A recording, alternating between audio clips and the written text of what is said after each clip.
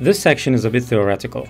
You will learn what is pen testing, types of pen tests, and the overall process in this part.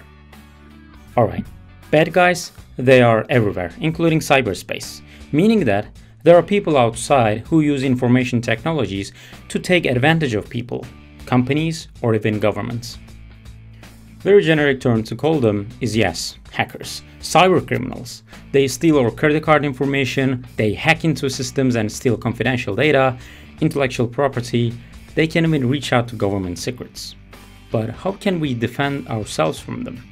There are many things we can do to protect our digital ecosystem, including our computers, mobile devices, or servers, from the threats the hackers create. We can also use antivirus software, we can use host-based or network-based intrusion detection systems like Snort or OSSEC, we can even deploy data loss prevention systems. But still, whatever we do, we will be missing something important, the perspective of bad guys.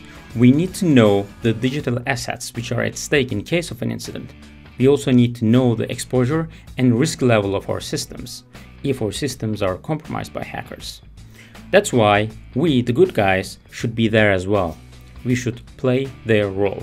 You might be thinking, what can we do about it?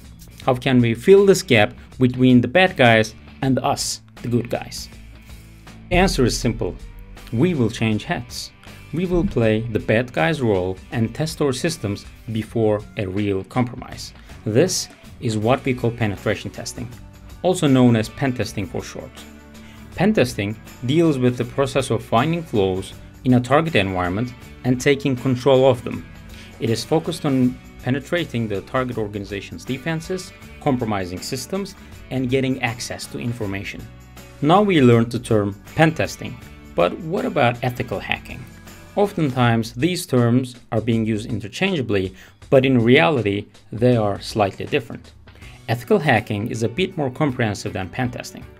Ethical hacking encompasses all hacking and computer attacking techniques to find security flaws with the permission of the target owner, along with discovering the security flaws and vulnerabilities and ensuring the security of the target system. In short, ethical hacking is beyond hacking the system in order to safeguard the security for future. It is an umbrella term and penetration testing is one of the features of ethical hacking.